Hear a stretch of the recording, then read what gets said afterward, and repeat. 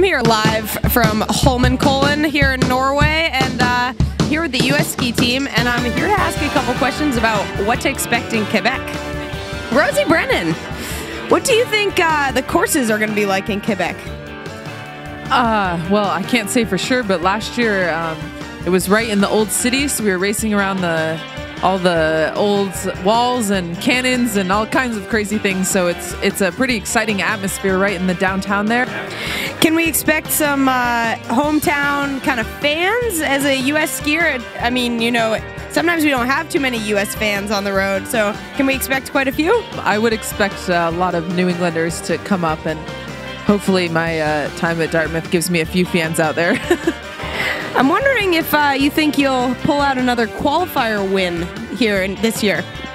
I don't know. I hope so. But more importantly, I hope I make it to the A finals this time. I am hoping that too for you, girlie.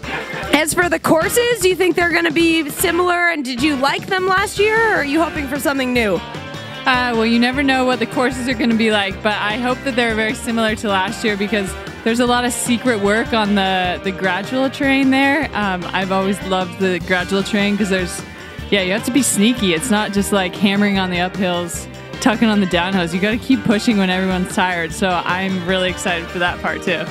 If fans in Quebec wanted to be similar provide a similar atmosphere to the fans here in Holman Holmenkollen, what would you what are some of the things you suggest as really important attributes?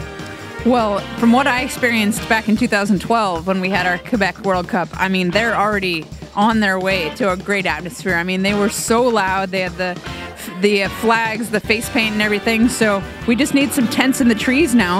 Um, I don't know if there's enough trees out there, but I I think we could have a really good atmosphere. So Holmenkollen, they're coming for you. I know a big thing, a big part about Quebec is how. Uh, how many extra start spots we get for U.S. skiers. And I know that you spend a lot of the year racing in the U.S. and uh, get making it over to the World Cups when uh, you perform the way you want to.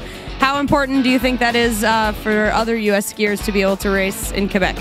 Um, yeah, World Cups in North America are super valuable to us. For the Super Tour guys, it's kind of your you know your goal for the season is to earn those extra World Cup spots. So every time the World Cup comes to North America, I know everyone on the Super Tour is super fired up about it. Thanks, David.